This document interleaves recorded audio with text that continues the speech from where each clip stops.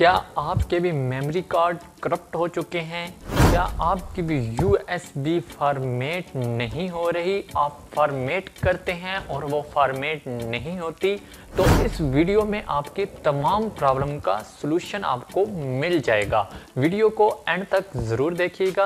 अस्सलाम वालेकुम फ्रेंड्स मैं हाफिज़ मोहम्मद इकराम और आप देख रहे हैं YouTube channel technical information lab मैं आपको अपने चैनल में खुश कहता हूँ। आज की हमारी वीडियो का टॉपिक है कि आप किस तरह अपने करप्टेड मेमोरी कार्ड जो आपके फॉर्मेट नहीं हो रहे, आप उन्हें फॉर्मेट करते हैं, वो फॉर्मेट नहीं होते, या यूएसबी जिन्हें आप फॉर्मेट करते हैं और वो फॉर्मेट नहीं होती।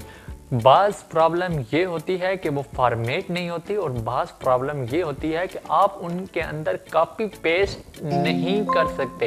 कॉपी पेस्ट करते हैं तो उन मेमोरी कार्ड के अंदर या यूएसबी के अंदर शॉर्टकट बन जाते हैं।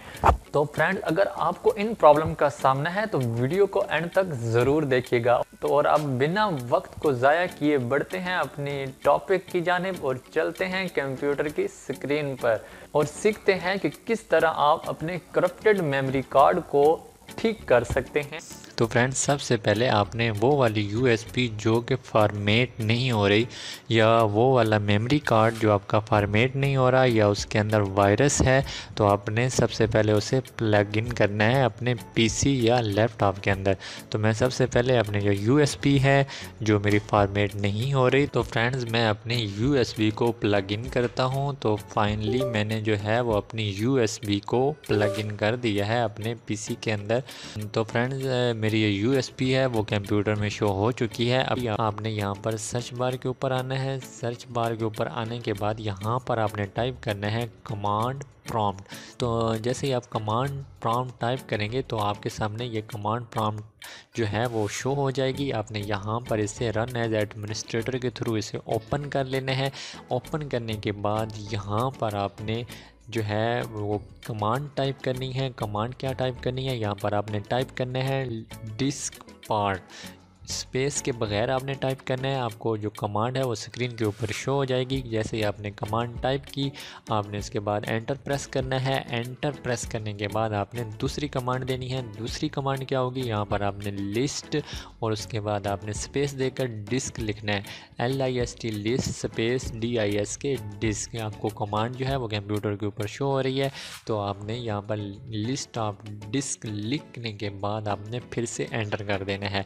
एंटर एंटर करने के बाद आपके सामने जो है वो कंप्यूटर के अंदर जितनी भी आपकी डिस्कें लगी हुई हैं, वो आपके सामने शो हो जाएँगी और उसके बाद आपने यहाँ से जो है वो अपनी जो डिस्क है उसे सिलेक्ट करना है। जो मेरी थर्टी जी की यूएसबी लगी है तो मैंने अपनी जो यू है उसे सिलेक्ट करना है सबसे पहले।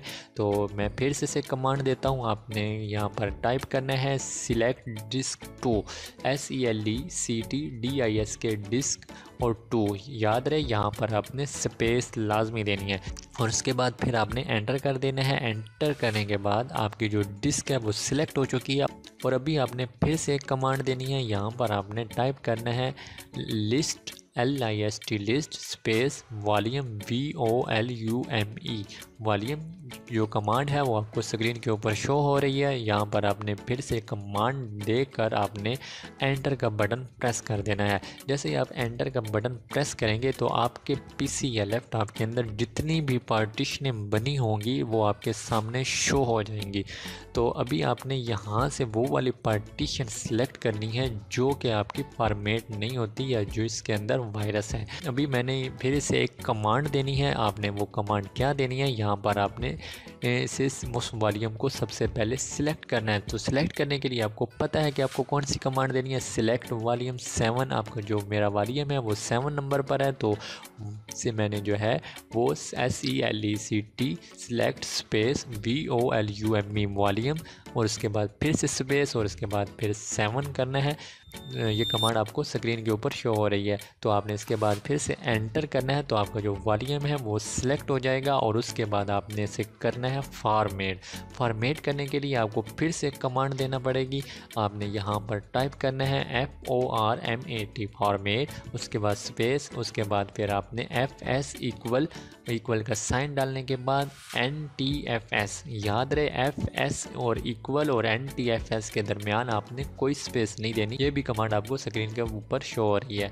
तो अभी आपने इसके बाद जैसे आप एंटर प्रेस करेंगे तो आ, जो आपका मेमोरी कार्ड है वो फॉर्मेट होना स्टार्ट हो जाएगा। फ्रेंड्स ये थोड़ा सा टाइम ज़रूर लगाएगा लेकिन आपका मेमोरी कार्ड जो है वो फुली तौर पर क्लीन हो जाएगा। एकदम हटा कटा सेहतमंद हो जाएगा, बीमारी से सेहत याब हो जाएगा। तो आपके मेमोरी कार्ड के अंदर वायरस है, वो भी क्लीन हो जाएगा। अगर आपके मेमोरी कार्ड के अंदर या यूएसबी के अंदर शॉर्टकट बन जाते हैं, वो भी क्लीन हो जाएँगे। इस कमांड के थ्रू अगर आप अपने मेमोरी कार्ड या यूएसबी को फॉर्मेट करते हैं तो। और इसके अलावा आपके जो कापी पेस्ट नहीं होता, वो वो भी आपकी जो मेमोरी कार्ड या यूएसबी, वो भी इस कमांड के थ्रू आपके ठीक हो जाएँगे।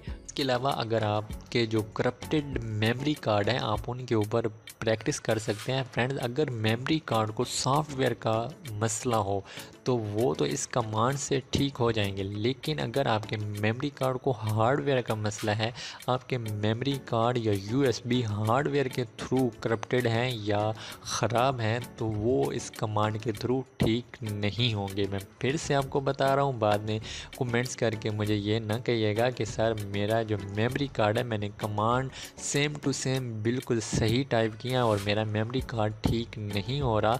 तो वो आप आपके जो मेमोरी कार्ड है, उसको जो हार्डवेयर का मसला है, अगर आप हार्डवेयर का मसला ठीक करना सीखना चाहते हैं तो मेरी इस वीडियो को एक हज़ार लाइक और मेरे चैनल को सब्सक्राइब करना ना भूलिएगा।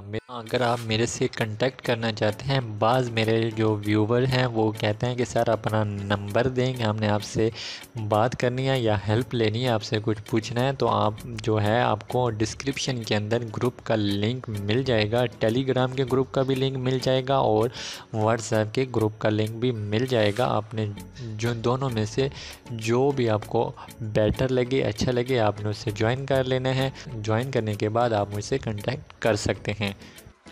और फ्रेंड्स अगर फिर भी इस कमांड के थ्रू भी आपके मेमोरी कार्ड जो करप्टेड मेमोरी कार्ड है, वो ठीक नहीं हो रहे तो आप मुझे कमेंट्स करके बताएँ कि आपके मेमोरी कार्ड को क्या इशू आ रहा है, क्या प्रॉब्लम आ रही है।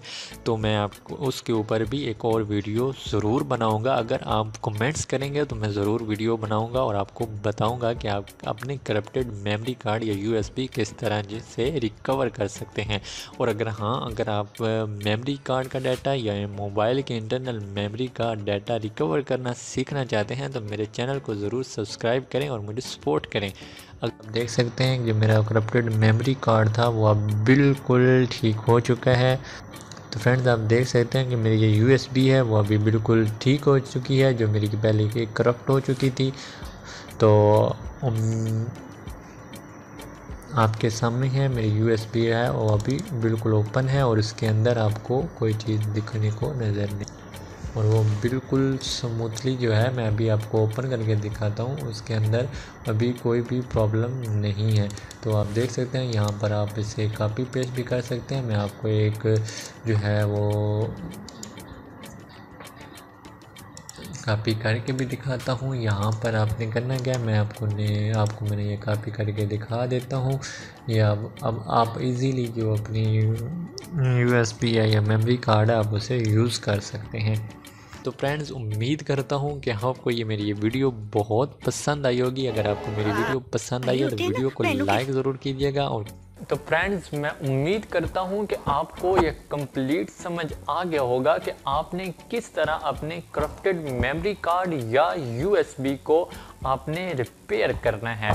तो फ्रेंड्स आज का हमारा क्वेश्चन है कि पहला इलेक्ट्रॉनिक कंप्यूटर किसने ईजाद किया? Who develop the first electronic computer तो फ्रेंड्स जल्दी से कमेंट्स बॉक्स में आए और मुझे मेरे क्वेश्चन का आंसर दें। देखते हैं कि आप कितने इंटेलिजेंट हैं।